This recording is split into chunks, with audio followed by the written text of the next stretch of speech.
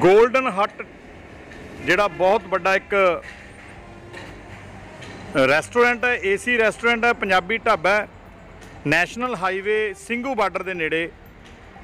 ਇਹਦੇ 'ਚ ਖਾਸੀਅਤ ਇਹ ਹੈ ਕਿ ਇਹਨਾਂ ਦੇ ਜਿਹੜੇ ਮਾਲਕ ਨੇ ਰਾਣਾ ਸਾਹਿਬ, ਉਹਨਾਂ ਨੇ ਇਸ ਨੂੰ ਜਿਹੜਾ ਆਪਣਾ ਪੂਰਾ ਹੋਟਲ ਹੈ ਇਸ ਨੂੰ ਜਿਹੜਾ ਹੈਗਾ ਉਹ ਕਿਸਾਨਾਂ ਨੂੰ ਸਮਰਪਿਤ ਕਰਤਾ। 24 ਘੰਟੇ ਕਿਸਾਨਾਂ ਵਾਸਤੇ ਲੰਗਰ ਔਰ ਆਪਣੇ ਜਿਹੜੇ ਇੱਥੇ ਬਣੇ ਹੋਏ ਸੀ ਦੁਕਾਨਾਂ ਸੀਗੀਆਂ। ਉਹਨਾਂ ਨੂੰ ਜਿਹੜਾ ਹੈਗਾ ਉਹ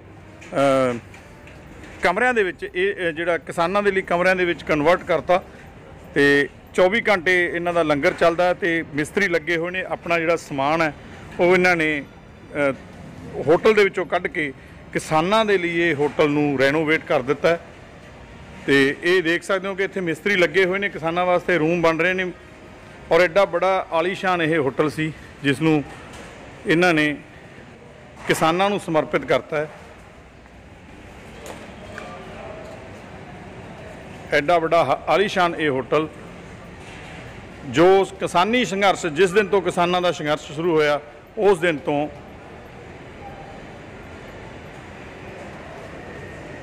ਇਹ ਕਿਸਾਨਾਂ ਨੂੰ ਸਮਰਪਿਤ ਕਰ ਦਿੱਤਾ ਗਿਆ। ਗੋਲਡਨ 골ਡਨ ਹੱਟ ਨੈਸ਼ਨਲ ਹਾਈਵੇ ਦੇ ਉੱਪਰ ਸਿੰਘੂ ਬਾਰਡਰ ਦੇ ਨੇੜੇ।